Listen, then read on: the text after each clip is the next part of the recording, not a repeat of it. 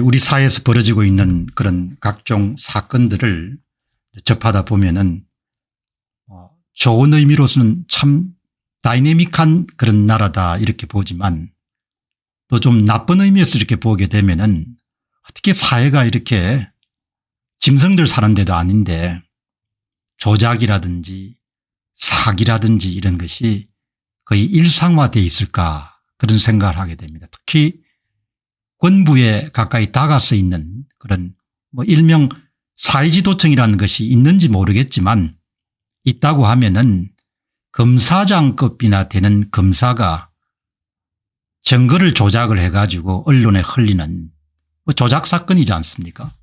그런 일들을 보면은 참 이게 문제가 참 많다라는 생각을 하기도 되고 하기야 뭐 검사장이 KBS 기자에게 잘못된 정보를 의도적으로 흘리는 일종의 정보를 조작해서 제공한 거죠.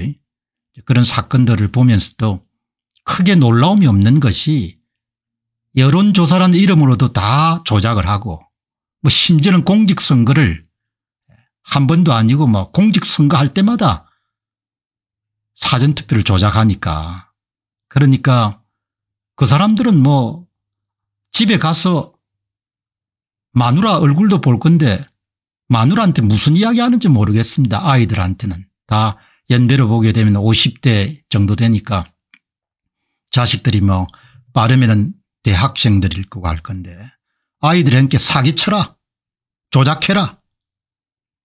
무고해라. 거짓말해라. 뭐 이렇게 가르치지는 않을 거 아닙니까 부모가? 예, 그런 점에서 보면 은 정말 딱하기도 하고 인생을 어떻게 그 저렇게 사는가 어제 뭐 보도해 드렸다시피 대한민국의 청와대 예, 이제는 대통령실이죠. 대통령의 시민사회수석인 강성규 씨가 내 앞에서는 부정선거 붙자도 꺼내지 마시기 바랍니다. 뭐 이런 이야기를 하는 겁니다. 예. 본인 선거가 엄청나게 조작된 것을 어느 누구보다 다 잘 알 거 아닙니까 선거 빠꾸미들이니까 선거에 명줄이 걸려 있으니까 뭐 우리만큼 알겠죠. 그래도 천년스럽게 아무 일도 없는 것처럼 그렇게 거짓말을 하고 사기를 치고 이런 세상이 돼버린 겁니다. 친문 핵심 검사죠. 친문 핵심 검사 이렇게 하면은 뭐 저는 세 사람 정도가 떠오릅니다.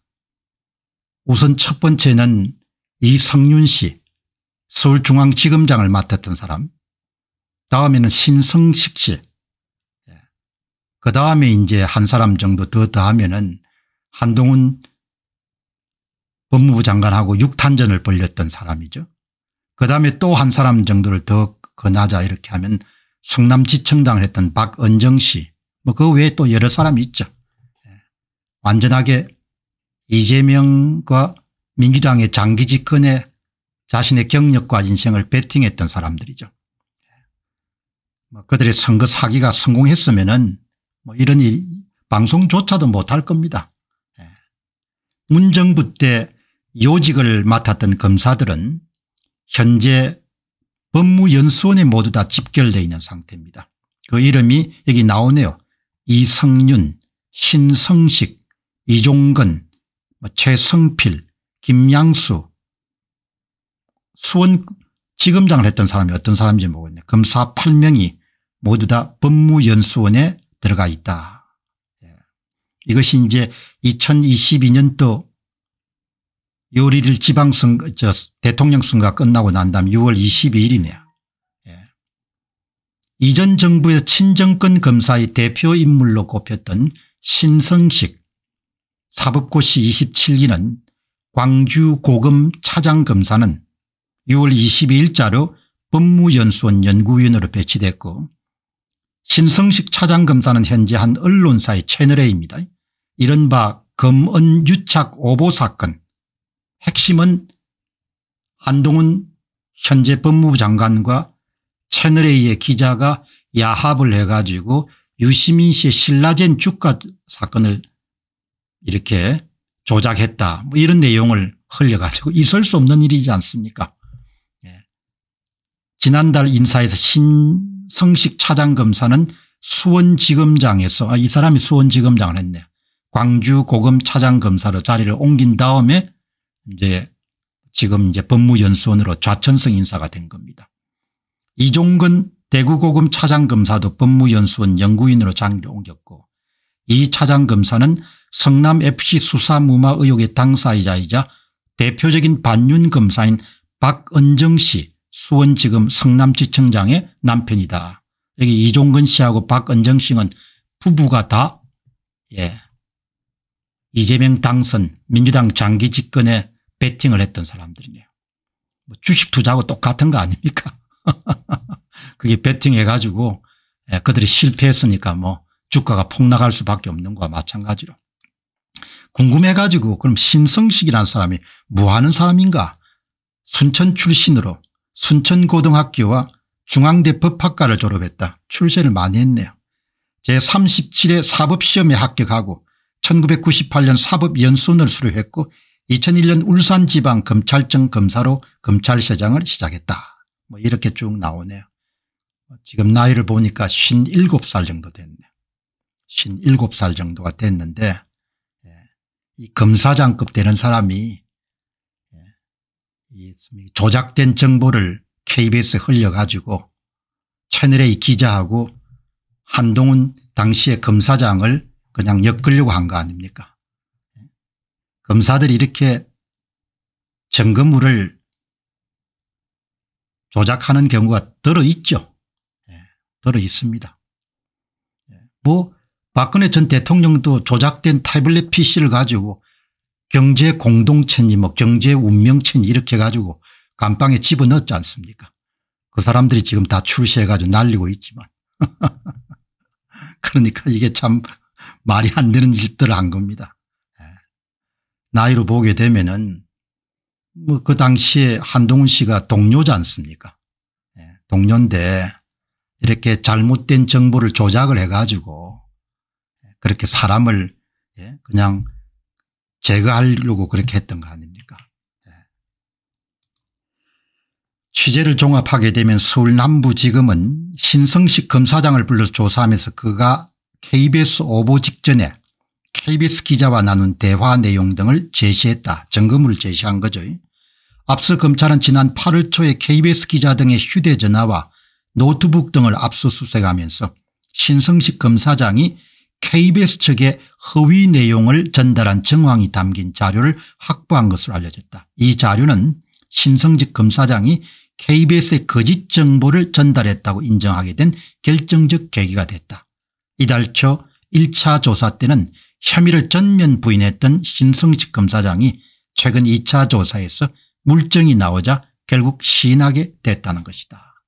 결국 뭡니까 정보를 조작해 가지고 동료인 한동훈 씨하고 채널A 기자를 그냥 감옥으로 가게 만든 거 아닙니까 예. 그거를 정보를 제공한 사람입니다. 이 검사장급이 이런, 이런 짓을 한 겁니다. KBS는 2020년 7월 한동훈 검사장과 이동재 전 채널A 기자가 같은 해 2월 부산 고검에서 나눈 대화 녹취록을 입수했다면서 두 사람이 유시민 노무현재단 이사장의 신라된 주가 조작 연루 의혹을 제기하자고 공모했다는 정황이 확인됐다고 보도했다. 다음 날 이동재 전 기자 측이 녹취록을 공개하며 그런 내용이 없다고 하자 KBS는 오보를 인정했다. 한동훈 장관은 KBS 기자와 허위정부 제공자 등을 명예훼손 혐의로 검찰에 고소했고 이 당시는 신성식 검사장이라고 지칭하지 않고 수사를 해달라 나중에 이제 수사를 해보니까 결국 이제 신성식 광주고검 차장이 그런 정보를 제공한 거죠. 자식들에게 엄청나게 부끄러운 일이고 예. 검사장까지 올라간 사람이 동료를 엮기 위해 가지고 그렇게 거짓 정보를 어떻게 사회가 어느 정도까지 바닥을 가할지는 나는 가늠이 안 되는데 자문에 이런 말씀이 있지 않습니까 자기 이웃을 쳐서 거짓 증거하는 자는 방망이요 칼이요 뾰족한 하살이니라 신성식 검사장이 그대로 적용되는 거죠. 아마도 신성식 검사장이 또 개신교 신도인 가능성이 예, 개신교를 믿는 사람일 가능성이 굉장히 높, 높겠죠. 그러니까 교회 따로 뭐 세상살이 따로옵니다. 예. 방망이요 칼이요 뾰족한 하살이니라 잠언 26장 18절 말씀입니다. 예. 이웃을 치는 것이 아니라 동료를 제거하기 위해서 거짓 증거하는 자지 않습니까 예. 이거는 뭐 사람의 도리로 보나 있을 수 없는 일이지 않습니까 문정권을 거치면서 인간이 자기 욕심을 채우기 위해서 자기 이익을 구하기 위해서 어느 정도까지 악해질 수 있는가 이런 부분들을 우리가 뭐 오늘 매일매일 확인하는 거죠. 위정, 무고, 사기 이런 일들이 너무 심한 사회가 된 거죠. 예. 그래서 뭐 결국은 이 사람들이 기본적으로 인생을 베팅한 거 아닙니까 예. 이재명 당선과 민주당 장기 집권 하, 집권에 뭐 자기 경력과 인생을 건 거죠. 예. 뭐 선거 사기 사전투표 조작 이것이 뭐 제대로 돌아갔으면 다 묻힐 사건입니다. 그리고 국민들은 꼼짝없이 뭡니까 예, 20년 30년 40년 어쩌면 영원히 뭡니까 중국의 속국 같은 나라에 좌익들이 완전히 권력을 뭡니까 장악한 상태에서 신음을 할 뻔했던 거죠. 예. 그러나 뭐 그들의 의도가 뭐 실수인지 아니면 뭐 하나님의 계획인지 우리가 정확하게 알 수 없지만 계획대로 돌아가지 않아 가지고 송영길 씨가 예, 뭐 9시인가 10시 정도에 요리일 날 잠을 푹 주무시고 나오시면 새벽에 나오시면 됩니다. 우리가 다 알아서 하겠다는 이야기죠. 나와보니까 뭐 잠이 잘겠습니까 이재명 씨가. 예. 이번에는 아주 중요했던 게 3구 대통령 선거에서는 사전투표를 먼저 깐 것도 참 도움이 됐던 거죠. 오늘은 3구 대통령 선거의 아주 중요한 부분 을 우리에게 예고하는 그런 내용이 제야 전문가의 그런 마지막 단계 3구 대통령 선거 분석의 마지막 단계에서 지금 도착했기 때문에 조금 있다가 그 내용은 여러분들에게 상세하게 말씀드리겠습니다. 예. 이게 뭐 진짜 사악한 거죠.